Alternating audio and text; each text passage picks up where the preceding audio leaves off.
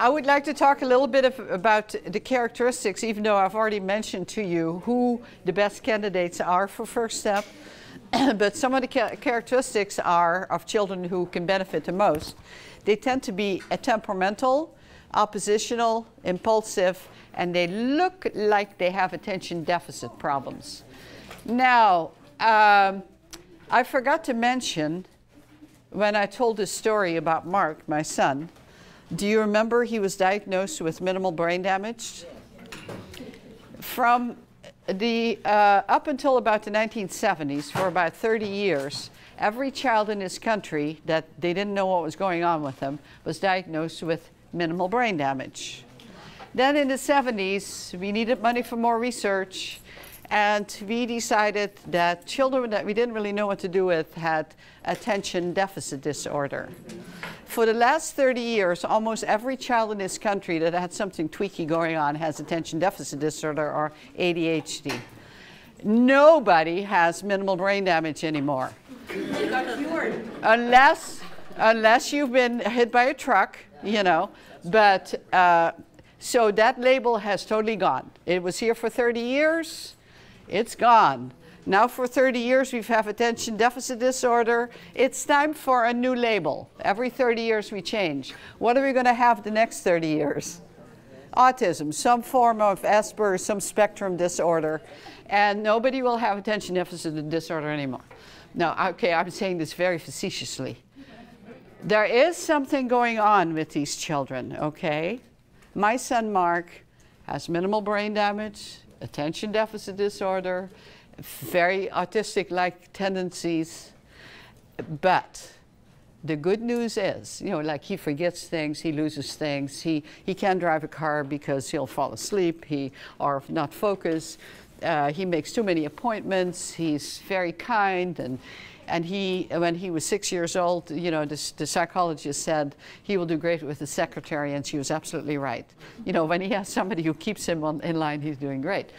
So actually, I'm really not here to tape a, a course. I'm actually here to find a cure for my son's problem. And a psychiatrist told me that the cure for Mark is to get him an organized wife. So I'm here looking for an organized wife. I'm just kidding. Not really. I have pictures. Uh, so, uh, and Mark actually is doing great. He has a five acre farm with two horses. I just inherited his goats, Ben and Jerry, but he has, because they were escaping, a dog and a cat, and he does great. He volunteers and he takes care of his farm. He's awesome. He still smiles. But anyway, what I was going to say is that the label doesn't mean diddly squat, okay? The good news is that we know a lot about how to help these children be very successful in life. And that's why, you know, when you guys say, well, what about children with autism? What about children? All this stuff is good for every kid. You know, just the basic. You need to give them the basics, the expectations. Teach them, reinforce them, notice them doing the right thing. So, um, so if you have children who look like they have attention deficit problems, before putting them on medication, try first step. You know, and if you try first step, which really gives a ton of attention for appropriate behavior, it's not only the teacher, but there's a coach that helps do this. The parents are involved. And if the child in the first five days still doesn't respond to the program, then you need to look at some, you know, more stuff. But try to um, to, to try to um, work with it. Uh, some characteristics are that they spend less time on task, meaning they don't do what the teacher wants them to do most of, many of the times. They have many more negative interactions with their parents, their siblings, their teachers, and their peers. And it's like, you know, you follow these kids, they get up in the morning and it's like the parents saying, didn't you remember to brush your teeth? How many times have I told you, here, hurry up, you need to eat breakfast. Finally, they get on the bus, and the bus driver says, keep your backpack to yourself. You know, keep your hands to yourself. They get off the bus, and then the assistant says, you know, don't run, don't do this. Keep your, and these kids are like, all day long, people are, you know, in, interacting with them in a negative way. So it's really amazing. Nobody likes them. Uh, well, not nobody likes them, but worst of all, the, the other children don't like them. If the other children don't like them, you have to do something. It's not even a choice because the research is very clear that if children are rejected by their peers or not liked by their peers when they're very young, they're at very high risk of juvenile delinquency. You have to do something. And that's one of the thing, things that what we, this is what we try to focus on in First Step to improve these, especially involving the rest of the peers. We involve the rest of the peers, and that's been the most successful part of our program is that the rest of the class helps the, the, the focus student become, you know, the captain of the team instead of the bad kid that they always tell on. And I'm going to tell you how that works. But um, this is incredibly important. If you see children that are not liked by other kids, don't go, oh my gosh, it's Johnny again. Everybody's ready, but we have to wait for Johnny. Too bad. Well, what do you think? All these kids are going to be on his case because you have expressed a dislike for this kid. Don't do it. It's very, very dangerous if you do this kind of behavior. What you need to do, even if you don't like that kid, and he probably is a very tough one, you try to find opportunities to showcase him. For example, you know, uh, everybody color the uh, triangles blue and the squares yellow. Okay, that, those are the directions. You know how to do that. But I see that Johnny is picking up his yellow crayon, and I say, May I have your attention, please? I just want you to notice that Johnny was following directions. He started to color his triangle yellow. Good for you, Johnny. And I don't care if you, you don't give a rip about it. I have just, you know, showcased Johnny in a, in a positive way. You try to find opportunities to showcase him so that the kids want for the teacher to be happy. When you're happy, they feel safe okay and if and if you are if you are mean or if you're you know, um, uh, criticizing, they get scared and they say, "Oh my gosh, the teacher is not happy." They're gonna they're gonna take it out on this kid during recess because you're not making my very most favorite person that I love the most happy. And they don't say that, but this is how that works. So please be very, very careful that you always treat every single child with respect and try to showcase those kids that bug you the most. And remember, it's not about you. It's about the kids, the, making them successful. Uh, some other uh, characteristics are that uh, antisocial behavior is part of normal development. If a child messes up once in a while, don't be alarmed. I mean, it's just part of normal development. Don't freak out. Uh, the crucial features are the frequency and the intensity. So if a child has problems in the classroom, on the playground, on the bus, in different settings with different people, then you need to start becoming worried about, oh, it's not just me. Because, you know, sometimes you have these kids that do just great with one teacher and they're like hell on wheels with another teacher. It's not the kid, it's the teacher. It's the way, or, or the work you know, it's the way the, the adults are interacting with the kids. So um, you, you uh, don't want to get alarmed too quickly, okay?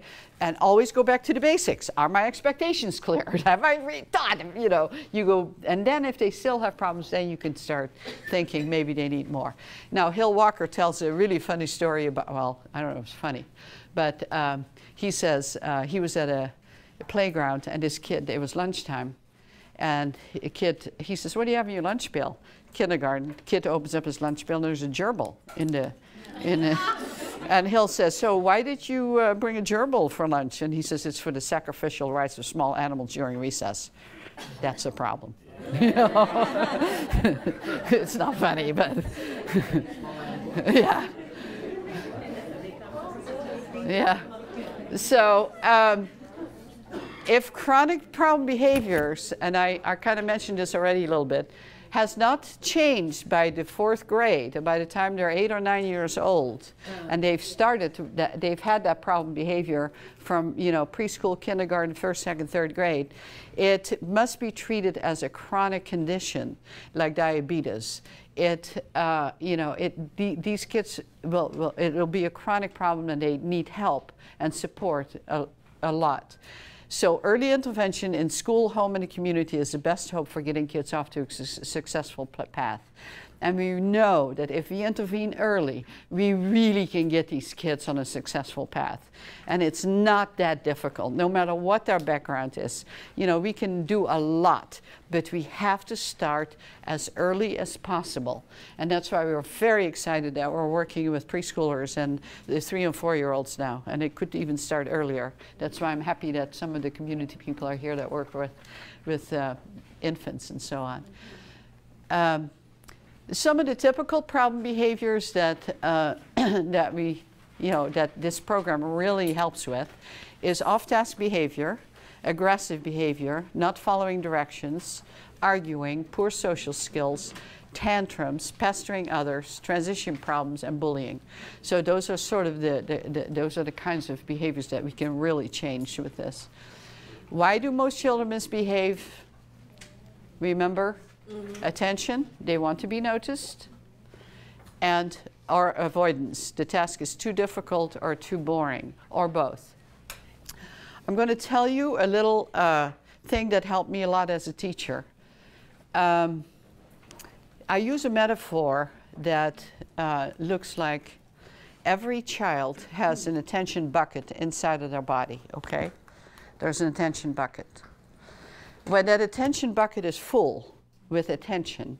The kids are content, they follow directions, they're doing what they're supposed to do, as, you know, 85% of the children usually are. If that attention bucket is not full, they truly have attention deficit. They need more attention, okay?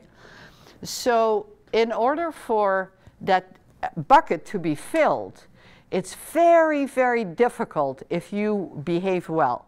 Like you have not, you have been extremely attentive. You have answered some questions. You've been extremely respectful. You're sitting on this side of the room. I don't look at this side of the room. I'm looking here. I see these guys over here, you know, but I don't look much at this side of the room. And a lot of teachers have certain places that they look.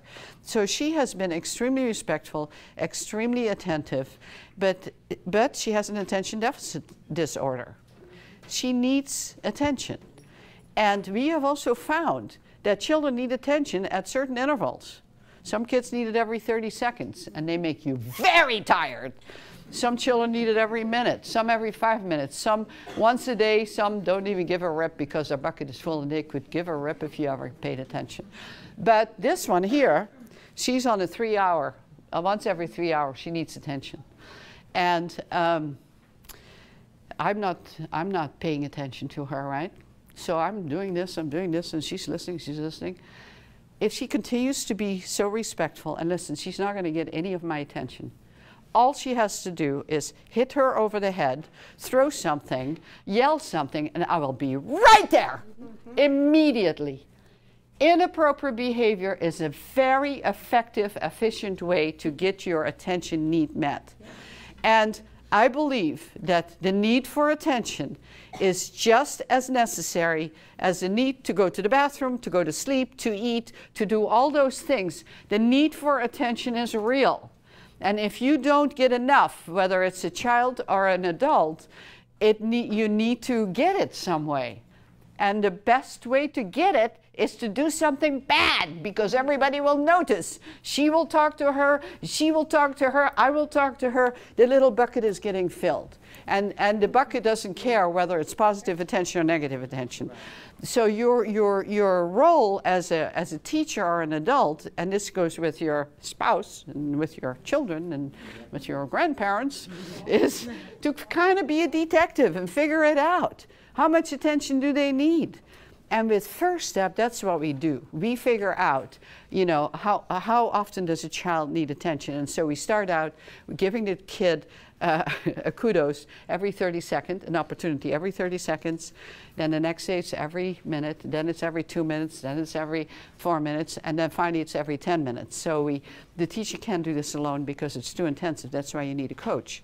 And I'm going to go into that in a minute. But, but we try to figure out, you know, what is the uh, attention fixed schedule for the kid? And then we go with that. But um, if you have children that are you know, but you find yourself saying 100 million times, Johnny, Johnny, Johnny, Johnny, that kid is getting a lot of attention for inappropriate behavior. So you want to, try to turn that around, okay? All right, so um, with avoidance, you know, and this is one thing with First Step that you have to watch out for. First Step does not teach academics. So if you as a coach find out that the child cannot do the work, they can't read, you know, it says color the circles yellow and the triangles blue, and the kid is not doing it, and you say to the teacher, does he know what blue is? Yeah. Does he know what triangles are? Yes. He knows all that. So why isn't he doing it? Because he can't read the instructions.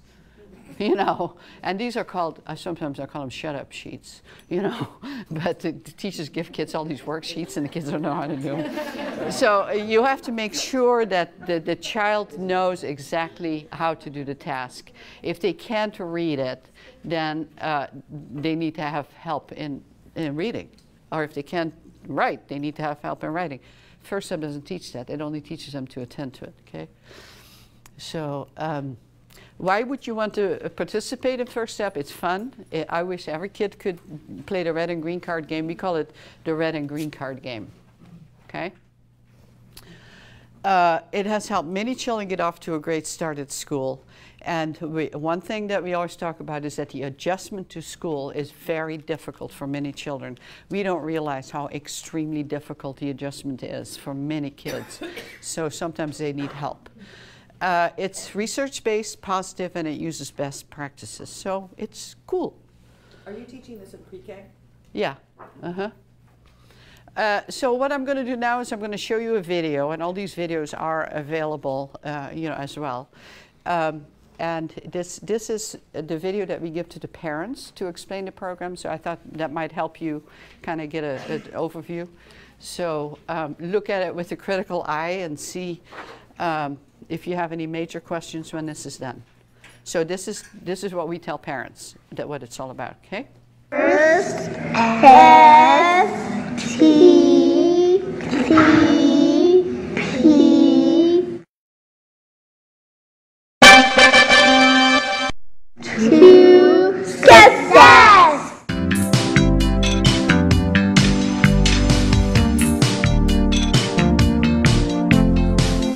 Welcome to the team. The First Step to Success program is an early intervention program to help young students get off to a successful start at school. One of the first step goals is to create a support team for the child doing well at school. Research shows that when students learn successful school behaviors early, they have the best chance of success later in life. The first step intervention which is presented in this video, provides tools necessary for school success. The First Step program has three components, screening, class, and home base. The screening and class components take place at school where the First Step coach works with the teacher, the child, and the rest of the class. Part of the class portion is presented as the red card, green card game. In this game, the green side of a card is shown when appropriate school behavior is shown. When inappropriate school behavior is exhibited, the red side of the card is shown. Points and attention are earned when the card is on green. The main objective is to give students a lot of attention for expected school behavior and less attention for inappropriate behaviors. When students do not know what is expected of them in each situation, they are taught. If your child has been chosen to lead the class during the class portion of this intervention, you will be asked to meet with the first step coach and your child's teacher. The school will want you to be an active part of the team, helping your child be as successful as possible. We're to need your help because you guys know Edward better than anybody. You will receive a feedback card every day. If enough points have been earned for successful school behaviors, the class will have earned a special activity in school, such as Simon Says, extra recess, and some other fun group activity. In addition to this school activity, we ask that you, as a parent, spend 5 to 10 minutes doing something special with your child for doing well at school. This could be as simple as an extra story, helping with dinner, a walk, or anything special involving spending time with you. We want to surround your child with positives for doing well in school by everyone important to them, teachers, classmates, and you. Your role during this first part of First Step is to give three positive statements to your child when they have earned their points. Spend five to ten extra minutes with your child for doing well at school. Sign and return the card so that you can remain in contact with the teacher. Returning the card back to school the following day is important so that the child is taught that you and the teacher are in regular contact and that you highly value school success. If enough points for successful school behaviors are not earned on a specific day, So, but should he be sad? No. No, because he can always try again tomorrow. We ask that you sign the card and send it back. It is important that you simply thank the child for bringing the card home and let them know they will have another chance to earn points the next day. We ask that you do not spend a lot of time discussing what went wrong during the game or punishing the child because we want to minimize giving a lot of attention for inappropriate behavior. You should receive cards home for approximately 30 days. The green card game starts out with short 20 minute segments and gradually increases until your child will be playing all day and then for several days at a time before a card comes home. After approximately 30 school days, when the child is doing well in the classroom, the gains will be faded. The second part of the first step intervention is called home base.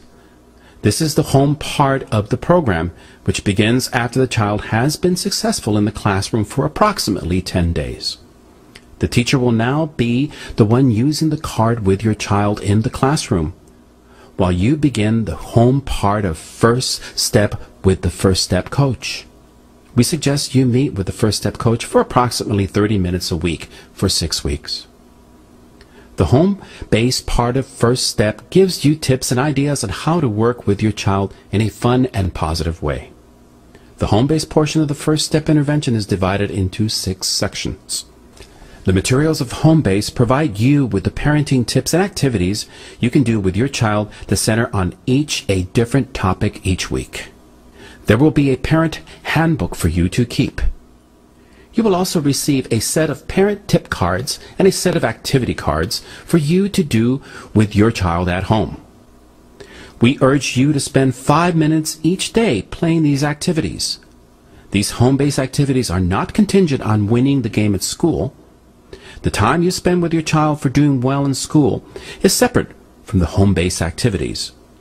Even if your child has not earned enough points for a home reward during the class portion of First Step, once you begin home part of First Step, we want you to spend 5 to 10 minutes working with the home-based activities daily. It will be essential that you model and show your child what you want them to do and how to do it. Many families find it best to build activities into your daily routines or schedule, such as right after bath time or right after dinner. There is a separate topic presented each week with parent tips and fun activities to do with your child during that week. The home-based lessons are organized to build on each other. Each topic is practiced for one week, and then the next topic is introduced. What I'd like for you to do is, after you watch this, uh, talk to a neighbor for a minute and discuss what you saw, and, and then I'm going to ask if you have any questions. You know, this is sort of your initial overview. May I have your attention, please? I just realized something. My wand. This is a very good example of not being clear with your instructions. I have not taught you about this wand. right? You are my class. And here's the rule when you are talking and doing stuff, and you hear this, and I say, May I have your attention, please?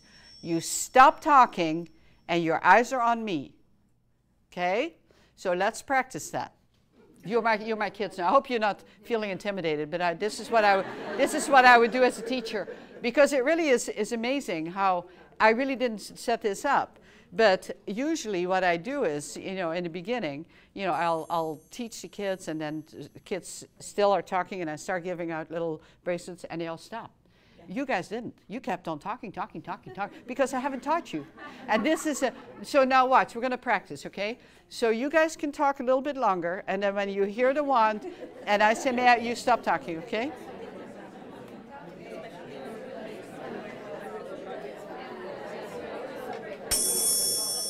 May I have your attention, please?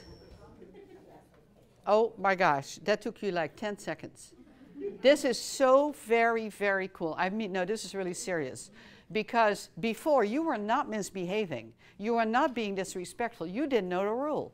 There, it wasn't clear to you. I hadn't taught you. Now I've taught you. Every time now when I do this, you will, most of you will stop talking. And this is exactly what happens with kids, okay? So um, anyway, do, uh, I already had some questions that I'm going to be answering, such as what if parents don't cooperate and you know they're drug addicts or they don't want. I'm going to tell you about that. What else? They can't read. If parents can't read, then you have to, to put it either on tape or you do, do, do activities with them. Yes. Um, is this a program that schools request for, you know, to be involved in? Like, how much commitment do you have to get from the overall um, members of the school? You can just buy the kit and do it in a classroom. But it require, I mean, like, as a, so, like, who would buy the? Well, usually it's, it's an intervention, you know, so ty- typically what happens is that the teacher's having problems with the child. Let's say that we're not doing any research or anything. Teacher's having a problem with the child. She brings the child to the team, and the team says, you know, somebody says, you, a psychologist, have you tried First Step? No, I don't know anything about First Step. Okay, well, you know, can we buy the First Step kit? There are enough materials for three children in the kit, in that blue bag. And so it's about $50 per child. And, um, and then, um, then you say, well, we need a coach. So, well, who's the coach? you know, you, and you really don't have to go through any training to, to use. You, the materials are very self-explanatory. The way I wrote the, the, the program, it's the way I'm talking to you now, and, and it's step by step. And so, uh, so no, it doesn't have to be. It's just like uh, a, a, an extra reading book that you buy for somebody.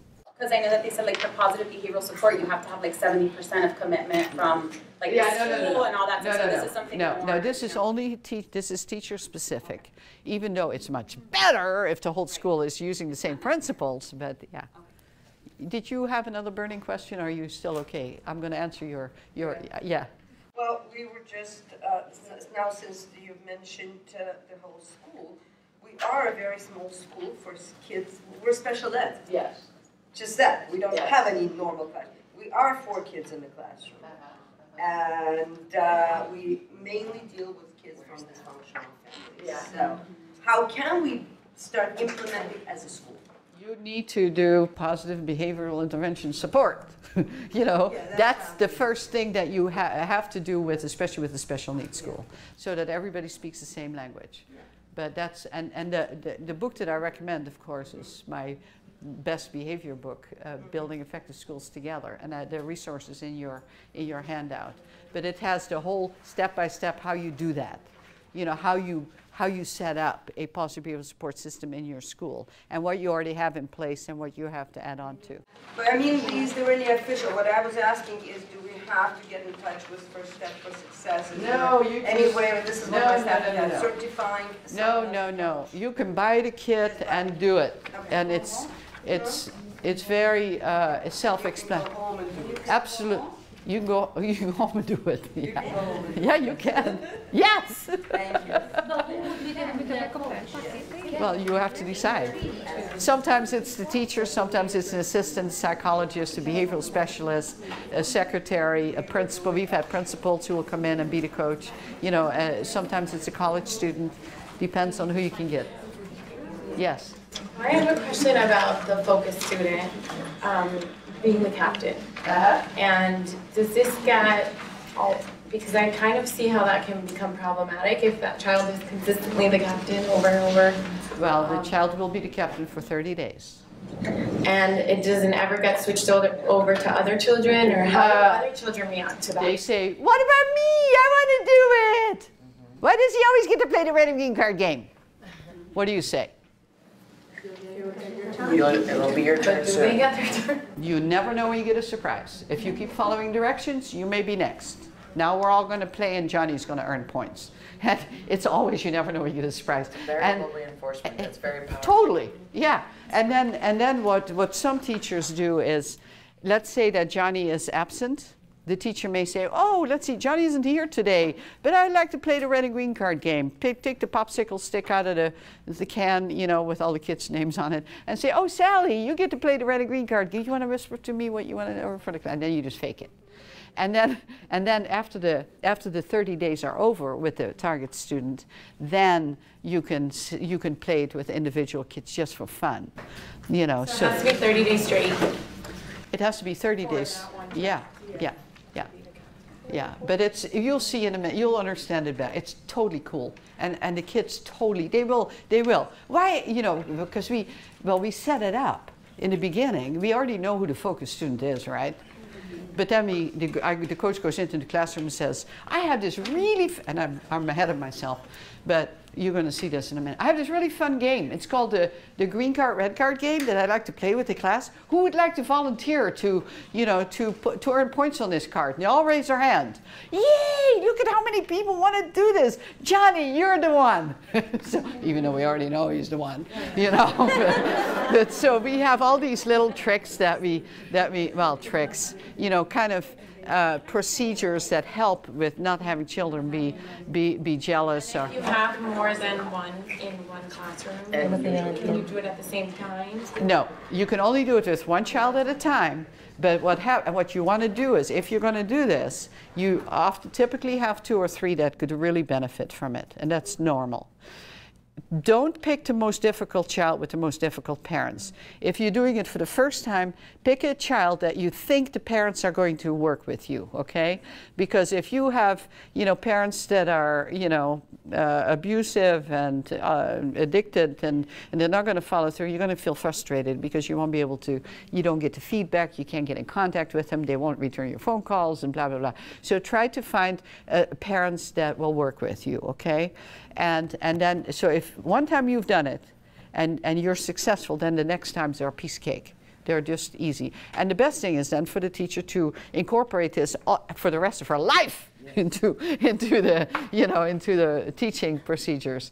You don't have to always use the red and green card, but we do have a, a system where you do it with the whole class as a, as a booster, where the whole class, you have set a timer, the whole class. If the card's on green and the class is doing what they're supposed to do, they get a point.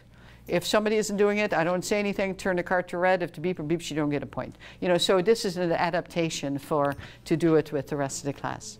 Yes. Have you ever seen a youth that, for example, I work in school and done it at home and your siblings, maybe just the parents playing a game with the child? Uh, we, we typically don't, and the reason is that, and uh, this is really funny.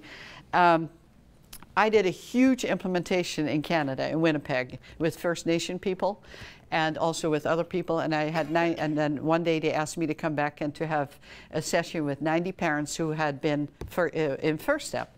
So I have all these 90 parents here, and I asked them how they liked the program, what they liked and what they didn't like. And the one mother, she said, Oh, she said, I was so frustrated because my child had temper tantrums all the time. He was a first grader.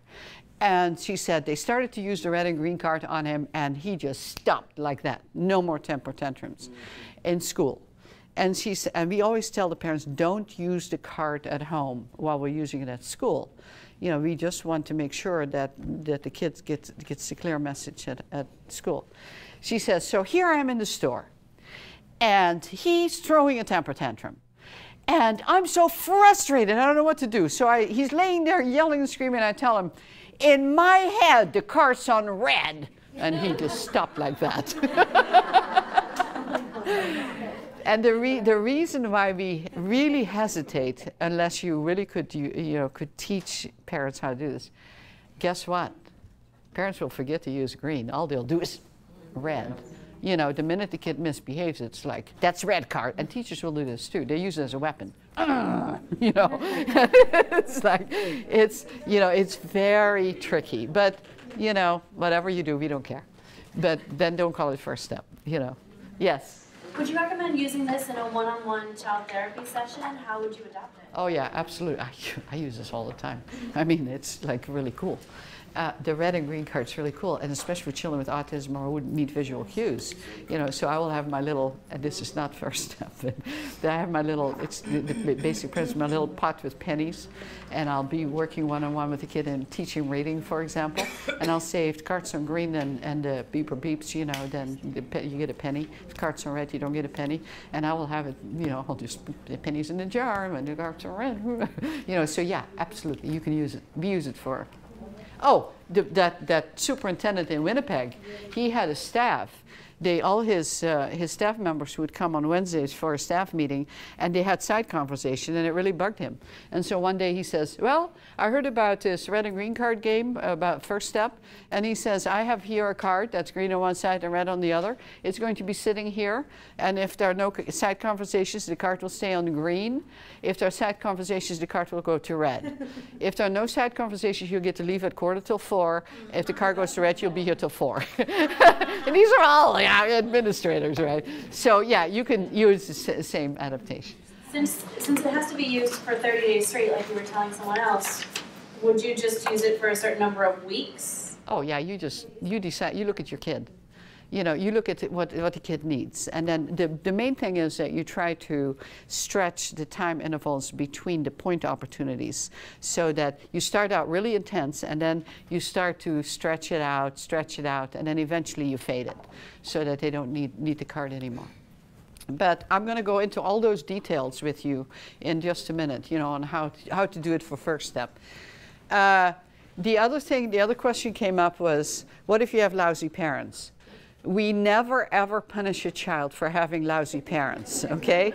so, and many children, unfortunately, you know, have lousy parents. And, um, and that's the biggest uh, uh, uh, complaint we get from parents when we want to do this and we have the meeting. They say, I don't have time. They don't have time. we don't care what you do at school, but I don't have time to do this at home. Well, what we typically do is we get what we call a surrogate parent. We get someone at the school to do the parenting part. So, for example, um, uh, and, and that's been very successful in our uh, New Mexico study. We had 100 kids, and we had about 40 that ended up with surrogate parents, and they still the results were still very, very, uh, very good. But um, the, I'll tell you a little history. We used to have uh, things written on the red side, so the teacher could actually write. This is what the the, the actual green cards look well what they look like. They have little numbers on them but we don't use those anymore. But anyway they had little numbers they had stuff written on here you know the, the child's name the date points possible the goal the teacher signature the the positive comments parent signature and, and the privileges the kid earned. We also had that on the backside we had uh, problems that happened. And guess what? Teachers were just writing all over the red side and very little on the green side and we didn't like that. And we tried to teach them in the trainings, do not, you know, don't write all that negative stuff. Well, one day I'm in Eugene and uh, I had just done a training and Cynthia was a latchkey person at the school. You know, she took care of after school kids and she came to the training to be trained as a coach. And she was awesome. So Cynthia starts working with a kindergarten teacher and the kindergarten teacher was great. And they had this kid who lived across the street from the school. He was always riding his bike uh, across the street, and the parents were kind of uh, not not very kind. You know, they yell at him and so on. But anyway, he lived very close, and um, he was a handful in the classroom. So Cynthia wanted to do the program. So she met with the parents. The coach and the teacher met with the parents, and the parents says, "Fine." And they start doing the program, and the kid did great. And it's like with many kids. You start the program, and they're like from Attila the Hun to Mother Teresa. They just flip flop.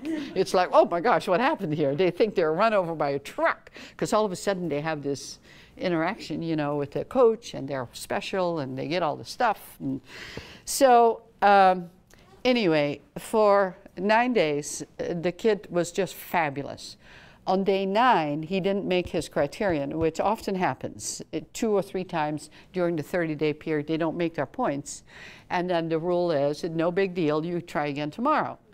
Well, he didn't make his points, and then he comes back the next day. You recycle, you go back to the last day that he was successful. So he did day eight. You know, he did day nine, didn't make it, went back to do day eight, didn't make day eight. They went back into day seven, didn't make it because we're trying to find out, you know, how much reinforcement does he need? Didn't make it. So Cynthia calls me and she says, Annemieke, I don't know what's going on. He was doing great. All of a sudden, he's horrible. And I said, Well, I'll come and take a look. So we typically keep these in a three-ring binder, you know, all the teacher stuff. You keep the cards, and then when the kid brings the card back, you stick it in the binder, and then at the end, the kid gets to take all the, all the cards home, right? So um, uh, while the teacher's cleaning up, the kids are leaving, I'm looking through this binder and I see day nine. There was no, uh, you know, he didn't make it.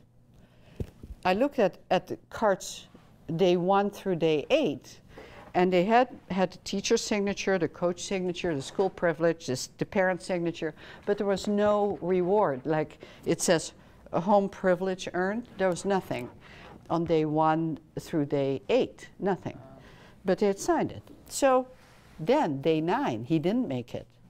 And you know what they had put here on the back? Spanking in big block letters. So then the next day was day eight, spanking. And the next day, day seven, spanking. So what had happened was when he brought the card home and he earned all his points, they didn't do anything. The minute he messed up, they spanked him. And it probably wasn't spanking, it was probably spank, spank, spank. You know you're supposed to behave at school, blah, blah, blah, blah, blah, whatever. And pff, it, it was a lot more attention than he had gotten before. So what we decided to do was um, we called the parents and said we weren't going to send the card home anymore because Cynthia says, well, I knew that when the dad was in the meeting, he said, he's supposed to behave in school. Do we have to do this program with him? Blah, blah, blah, you know. So the dad was already kind of resistant. So uh, they called the parents, said that we were still going to do the program, but he wasn't bringing the carts home, and Cynthia was going to be his surrogate parent. So every day when he won, uh, when he had his points, he would go to, to her office a few minutes before school was out. She would give him praise statements and do something fun with him, like play a game or, you know, some, read him a story or whatever. And he totally turned around. And that's when we decided when we, this does not mean bad this means stop. Stop and think. It does not, and you cannot write on the red side of the card ever. Okay? So, um, I don't know why I started to tell that whole story, but uh, oh, if parents don't cooperate. Yeah, so, so if you have parents who are not uh, following through, we try to find somebody else who is an advocate for the child, you know, in the school who can do the parenting part, and it's, it's really helpful. Yeah, are we good? Yes, you had a question. Is in that in those situations, is the term surrogate parent used with the parents, or how is No, we don't say anything. No, we just no, we just say to the parents, you know, we're not going to send a cart home. If he gets his points, he's going to do something fun with Cynthia. Oh no, yeah, no, no, no, no, no. We don't. I'm just telling you. I don't know what else to. I don't know what else to call it. The reinforcer. We find another reinforcer. Yeah. Okay. So. Um, how are we doing here? We're doing good. Um, so how is the program taught? Well, first, a focused student is identified. I like that word focused student. We used to say target student, but I like focused student better. Otherwise, it's like a target. Uh, only one child at a time plays the game, and that's important because, you know, you want for this child to have the full, get bombarded with attention. This is, you know, before they got bombarded with attention for negative behavior, now they get bombarded with attention. Uh, and, and it also works for children who are internalizers. They need a lot of power and control as well, and, and it works well with them. So everybody works together. The coach, the teacher, and the parents work together. The entire class works as a team. The focus student is the captain of the team. A green-red card game is played. Points are earned for doing the right thing. A class activity is earned. So when the child earns all the points necessary, and we have that all laid out for you, they need 80%, then there is an activity for the whole class. Now, with, um, with some of the students, especially when students that are a little autistic like or really young, they don't give a rip about the rest of the class. They're so self-centered and so focused on themselves. Then we still always do a class activity, but we may have to give that child an individual reward, like you know, 10 minutes on the computer or something that they really like. It depends. That's a problem-solving area.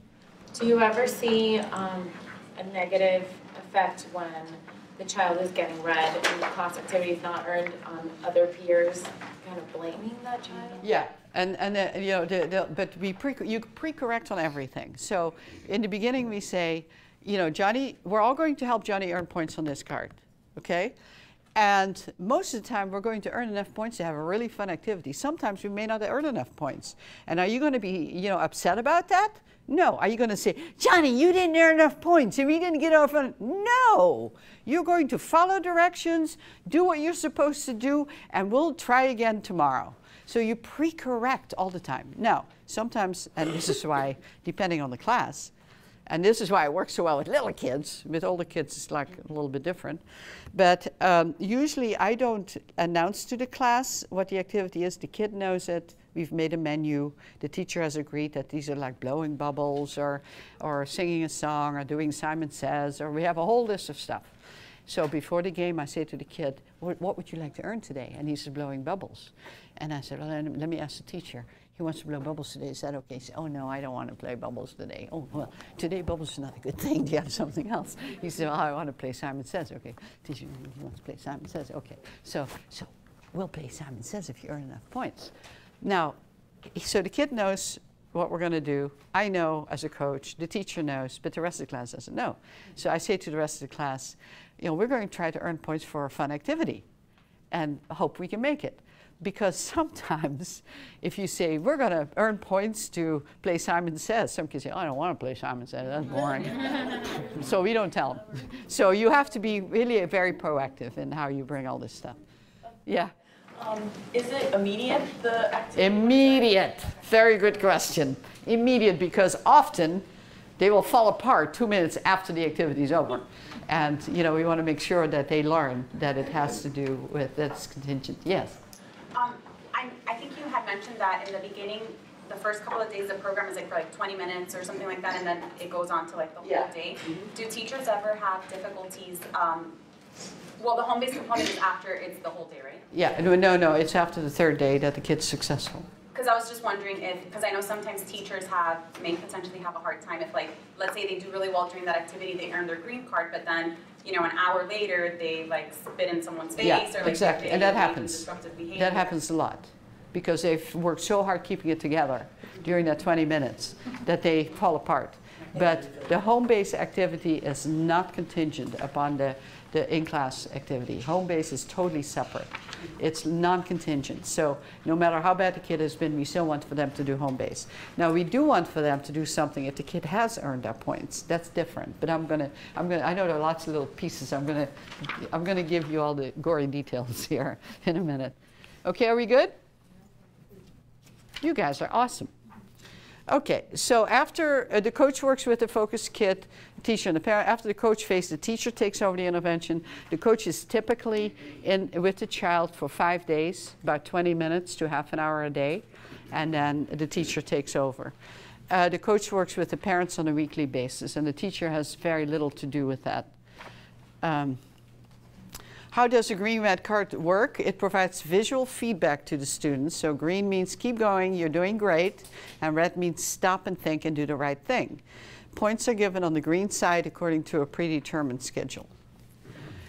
How long does it take? Uh, like I said, it's a 30 program days, daily sessions.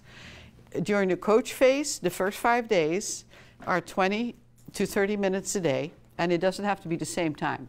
You could do it uh, you know, in the morning from 9 to 9.20 the first day, you could do it from 10 to 10.20 the next day.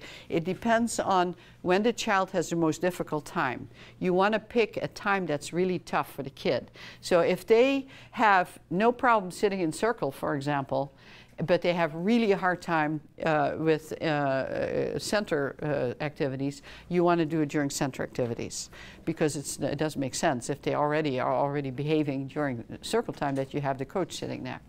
Uh, you don't want to take it out of the classroom, so you want to do it in the classroom the first five days. Don't take it to recess, you know, because you want to make it a class community kind of thing. Uh, then the teacher phase takes uh, 25 days and it goes, it starts from one hour to all day and then it starts fading out. Do you have like a baseline assessment that you give to your coaches or, um, or to the people that are going to be observing the behavior and like to see, you know, throughout the day? You know, when is it that the problem behavior arises? Is it, I mean, do you the have teacher, baseline assessments? The teacher decides. And it, it's all about uh, uh, when the teacher uh, uh, wants you in the classroom, when the coach is available to, to, be in the classroom, and we don't really do a baseline. Well, we do all those those rating skills and the uh, on-task behavior. You know, the, the, we do all that before, yes. Okay. But uh, but the teacher decides when. Uh, you know when it's going to happen and the teacher you know the coach is a guest in the teacher's room so you have to work very cooperatively with the teacher uh, then there's a maintenance phase the rest of the year. So the teacher needs to follow the basic principles and catch a child doing the right thing at least every 10 minutes for the rest of the year. The program gradually increases from 20 minutes the first day to all day on program day 16, and feedback is faded from every 30 seconds the first day to every 10 minutes by program day 15. And these kids need feedback every 10 minutes for the rest of their school career and probably their life. So, and, and feedback, it doesn't mean that you have, you just can do a thumbs up, you can do a pat on the back, you can do a star on the, on the paper, anything to let the kid know that you notice them. But uh, do you find that it's difficult for teachers to adhere to every 10 minutes for? Extremely difficult. Yeah. You have no idea how, and that's why things like the, we have a beeper. You know, we have a, a, a Gymboss timer that will vibrate or beep or vibrate, and that really, really helps because the kid's good. The teacher forgets, here, look at my kid. She's awesome. I totally have forgotten about her. You know, she's good. The minute she's bad, I'll be there. So I have to try to be there before she is asking for it. And that's why the beeper, the timer, anything, the timers, beepers are awesome to remind the teacher. Yeah. Yeah, and I keep thinking about the other kids as you uh-huh. had asked before because it, it is a lot of extra work to the teacher and and you know she needs to find the, the time to do that plus the academics plus the other 20 kids in the class yeah to also recognize their you know and that's and this is this is exactly what we hear from teachers. I don't have time. I have 30 other. We in Oregon we have 30 kids now in a class. I have 30 kids. I have six mainstream kids because you know we're really into mainstreaming over there, which I think is awesome.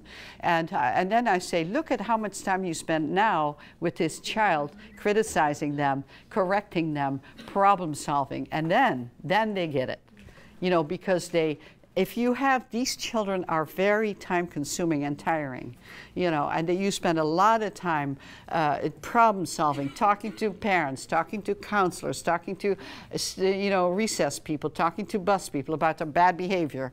And if you look at that and now you say you still spend that time but now it's positive.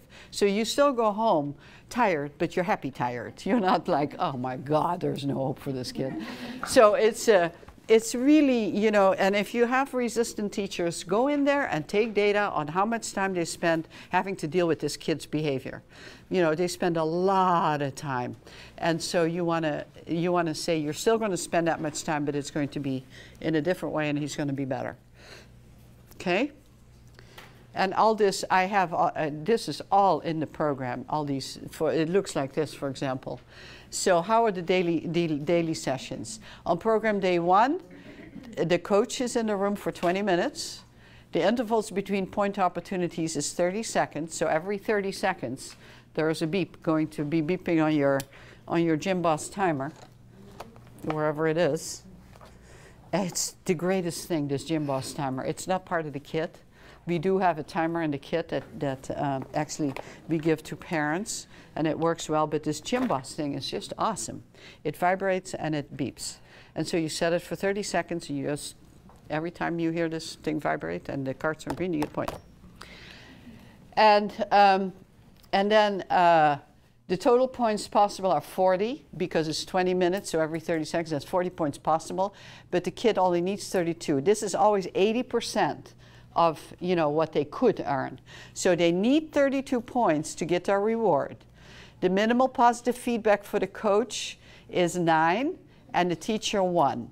And what this means is you can see that it goes from 9 to 1, 7 to 2, 4 to 3, 3 to 4, 3 to 4. What we're trying to do here is increase teacher positive interactions with the kids. It can be a lot more than that, but some teachers don't give positive feedback. So during this 20 minutes, the coach will say to the teacher, you just teach. I'm going to be sitting here giving feedback to Sally. And uh, I want you, just during that 20 minutes, one time, I want you to make sure that she's on green and give her a compliment or pat her on the shoulder or do something. Only one time. On day two, I want you to do it twice. On day three, three times. On day four, four times. And on day five, four times. So we want to change teacher behavior, okay? Um, and again, positive feedback means thumbs up, wink, pat on the back, something on their paper, anything to just make contact with the kid, okay? Uh, the reward is earned every day. So they earn, if they have this number of points or more, they earn a reward for the whole class. And it has to happen right after the session every day. Then after day five, the teacher takes over. So now the session is 30 minutes. Every five minutes, the kid gets a point opportunity. They can earn six, but they need five. And the teacher just notices the kid with every point. John, you, or Bob, you just earned a point. Excellent job. You know, Sally, you, oh, no, oh, it's always Bob. Sorry, Bob. Okay. And then, and then you can see here that on day 13, now we're playing the game all day. And the teacher typically has, there's also a lanyard in the, in the kit. They like to put this card around their neck. You know, it kind of, so that it's always there. And they just hang a pen and they can, they can put their thing, okay, their points. Uh, sometimes you have to put a clip on here so it doesn't turn by itself and the kids say, oh, the card's are red and he's doing good. um, so you see on day, so on day 13, it, it's done all day, but it's every eight minutes. And here, every other day, they get a point opportunity. So now they have to have two days in a row that they make their points to get the reward. So we're fading out the program. On day 21, we're playing it all day. Now it's every 10 minutes they get a point opportunity and they get a, a, a reward on the 10th day. So now it's really like kind of stretched out. So we fade it out. We start out really intense and then fade it out. Okay? But again, don't worry about this. This is all in the, this is all in the book. How long does home base take? The coach starts home base after the child has been successful playing the green red card game for three days.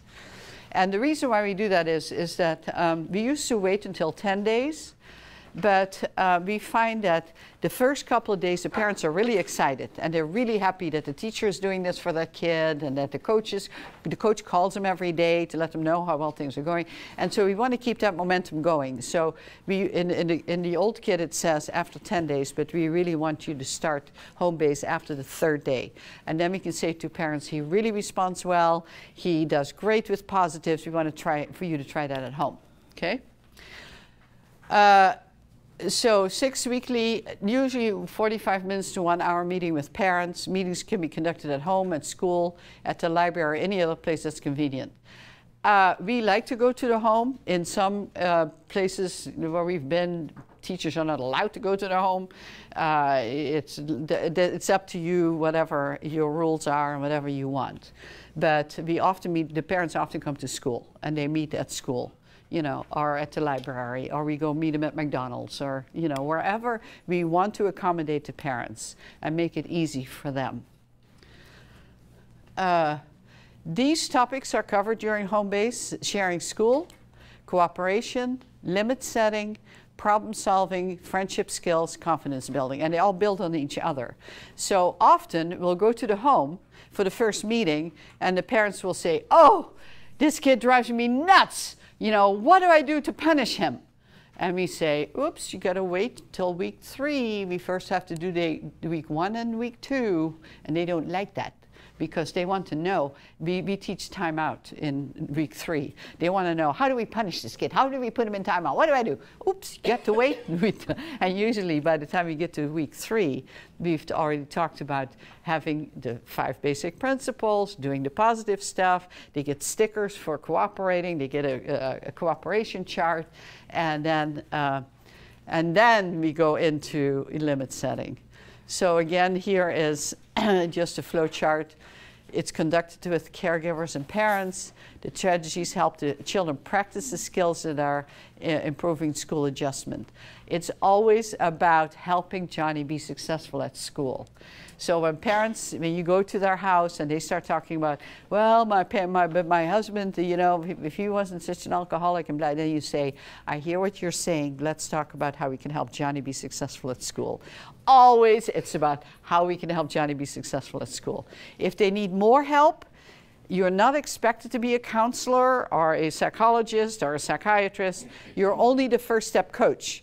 So if they need more help, you say, here's the number of the counselor at school. Or, you know, you refer them to the school people that can be a resource for them. Your job is not to solve their domestic problems and, you know, it's only to give them activities they can do with a kid that are, that are helpful because the research is very clear is if parents spend five to 10 minutes of one-on-one positive time with their child, that it makes a huge difference. And many parents don't know how to do that. They don't know how to play with their kids. And so we give them all these fun activities to do.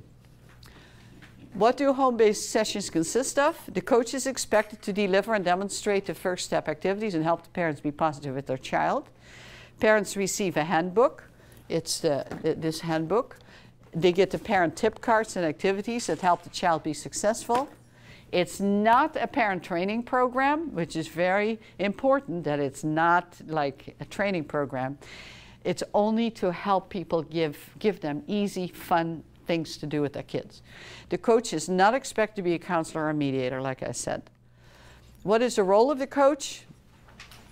You must have a strong commitment to help the focus student be successful as possible.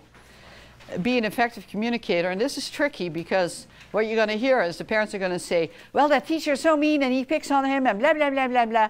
And you don't want to fall into the trap. Yeah, I know, I saw that teacher. She's pretty darn mean. you know, even if she is, you can't do that the teacher's going to say, oh, those parents, they're so awful. Oh my gosh, you know, blah, blah, blah. Yeah, okay you know, you can't get, you have to be an advocate for the child and not get fall into that trap of taking sides. Um, work cooperatively with uh, school, oops, with, with school staff and parents.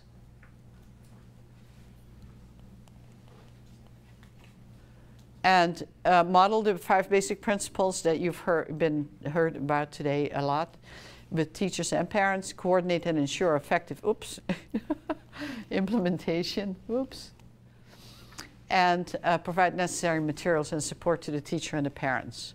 So that's the role of the coach. Uh, the coach also observes the target student. They meet with the caregiver and the teacher. They provide materials. And then they teach the child one-on-one. -on -one. And I'm going to show you uh, a, a videotape of a coach doing that in a minute. Meet with the teacher to plan intervention. Become familiar with the classroom routines because you have to know what is expected. It's different in different teachers' classrooms. Meet with the parents to explain the program. Meet with the focus kid to explain the program and the role play expectations. Meet with the entire class. Implement the program for 30 minutes the first five days. Contact parents after each session for five days, and this is very important we, uh, we don't know, there are so many little parts to First Step, we don't know which is the most important one, but we know this one. Often parents don't ever get a positive phone call home. They only get a phone call from the school when something bad has happened. So now the coach calls and says, you know, uh, Johnny played a red and green card day, game today and he did awesome.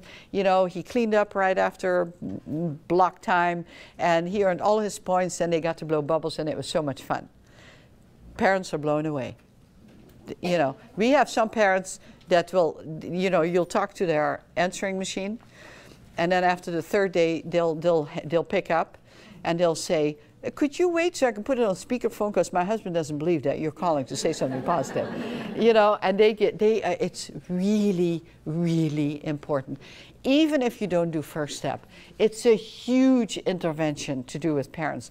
Call them just like you do for every negative, the four positives with the kids. If you need parents to tell them about something bad that, that has happened at school with a kid, you need to call them at least four times to let them know when something good has happened, or at least send a note home, or, or an email, or something simple, specific. Jo bless you. Johnny did a great job following directions during science today. That's it.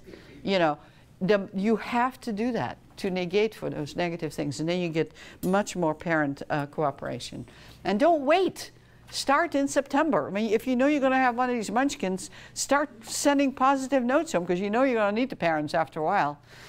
So, um, transition the program to the teacher, conduct uh, the uh, weekly meetings, and support uh, the thingamajiggy.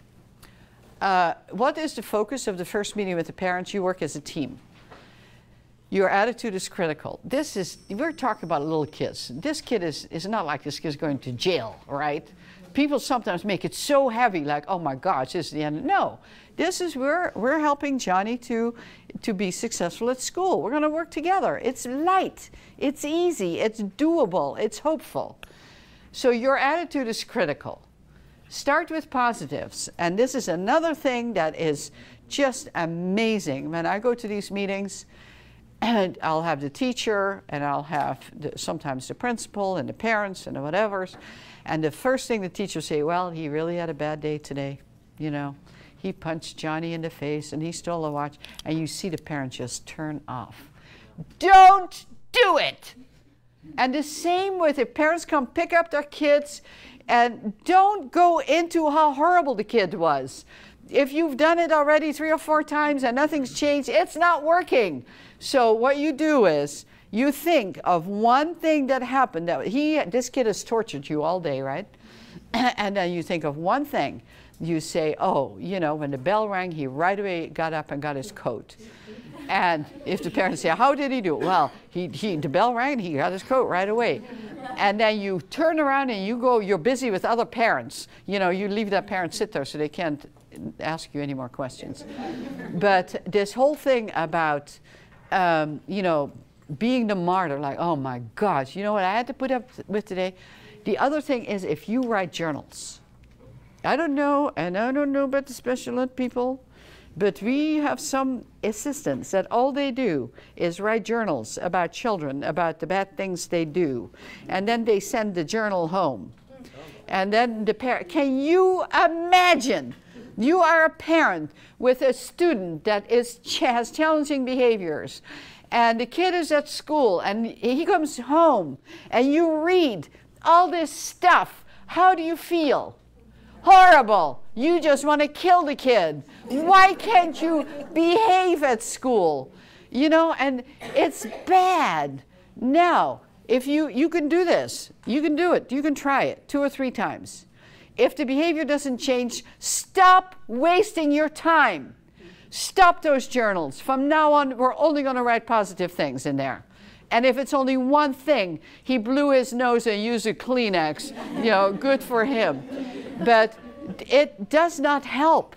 You know, please look at yourself and see. I see hours and hours and hours of precious teaching time wasted by people sitting there writing in the, in the journal, and it doesn't help data-based decisions. If your intervention, whatever you're doing, is not changing the behavior, you have to change something. Don't keep doing the same thing over and over. It's like Einstein says, insanity is doing the same thing over and over and expecting different results, right? So please watch it, that you don't fall into that trap of, well, I have to. No, you don't have to. Well, I mean, it, you know, to me, what it sounds like is that this is more like a teacher training than anything else. That, that we're teaching teachers to focus on the positives and not on the negatives. But if we grow up in a shame-based society where, where it's very, we're very, you know, penalized, it's punitive, there's punishment, there's always this need to shame, you know, other people. Um, so it makes us feel better, or the teachers feel better, or whatever it may be. Do, you- have you ever introduced this to, um, the top? And, you know, start, because I think, like we talked about this at break, you know, it starts at the top. If the, if the, if the principals are punitive, the teachers are going to be following suit and be punitive with the kids. So have you ever introduced it at the top level where the assistant principals and the principals start doing this with teachers Oh, and yeah. being positive Well, that's, uh, that's positive behavior intervention support. That's the whole thing about principals catching teachers doing the right thing. But what's funny when you mentioned, have you ever tried this? I, we, I worked at the Institute on Violence and Destructive Behavior at the University of Oregon. That's where we developed this. And so we have on our staff some officers, police officers. So I was doing a first step training, and this guy was new, and he was supposed to go to my first step training. I said, What are you doing here? And he says, Well, I'm supposed to be here. I'm supposed to know all about all these activities. And he, after the training, he says, Oh my God, you've got to come to our police station. My, um, uh, uh, my superiors need to hear this. We only get called in when we're in trouble, and we, you know, same, same thing. Yeah, no, but that's why you need possibility support, because that's what it is, it's from the top down. But anyway, we, we need to start, when we talk to parents, you know, make sure that we mention positive. Focus on the strength of the child rather than on the weaknesses. And then the coach needs to listen, keep it light, and, conv- and convey hope. This is fun. It's fun. It's not like, you know, the end of the, it's fun. We wish every kid could do it. So I'm going to show you a video of a meeting with the parent, and then after that we will take our lunch break. You guys are doing so good. Only one person fell asleep. That's amazing. After the initial meeting with the teacher, set up a time to meet with the teacher and the parent or caregiver. Before this meeting, you will want to make a plan to make the parents feel comfortable and begin to feel part of the team. Have the teacher plan to start the meeting with at least three positive statements about the child. Use key phrases like, We need to teach Johnny how to, instead of, He needs to learn how to. Avoid listing all the misbehaviors of their child. Focus on teaching the child to follow directions. The goals of this meeting with the parent are to stress the main focus of giving attention for behavior we want and less attention for misbehaviors. Briefly explain the first step program. Explain the roles of each participant. Elicit cooperation to help the child be as successful as possible. Brainstorm a menu of activities the parents can do with the child at home. Exchange phone numbers and times to connect. Sign agreements and give everyone a copy. Hi, I'm so glad you could make it today. This is such a wonderful program. I know that once we get started, you're really going to appreciate the value that we have here. And I have um, want you to know that I've observed Jacob a couple of times, both in class and on the playground, and I see that he's a very active little boy. He's got a great imagination, and he seems to be very creative. And um, I've heard from his teacher that he's got a couple of real strengths in some of the academic areas. So we have a lot to work with here. The purpose of our program is to just help him be as successful as we can in school. And by playing a game called the red card, green card game. And we have children think about traffic lights, and that green usually means go, and red usually means stop. And the way this game is played is um, I will be in the room for five days working with Jacob. I'll be working very closely with him and monitoring his behavior for a short period of time during the day. After that time, the teacher takes over the game. So this is really meant as a visual cue. And sometimes children respond so much better to a visual cue than being told something over and over. So this is just a little reminder. Great, you're doing good. You're on green, everything's going smooth. And if I see that he starts getting off task or not following directions, then I'll, if he earns 80% of his points, then he will win the game that day. And when he wins, he'll get to choose a fun activity for the whole class. Oh, he will like that. Mm. That is just Like so that. He wonderful. loves to be the center of attention. Mm-hmm. He will definitely be the center of attention. There is nothing parent responsibilities. I have a little sheet here that I'm going to let you take home, and this is a simple guide that to kind of remind you of what you all as parents will be responsible for.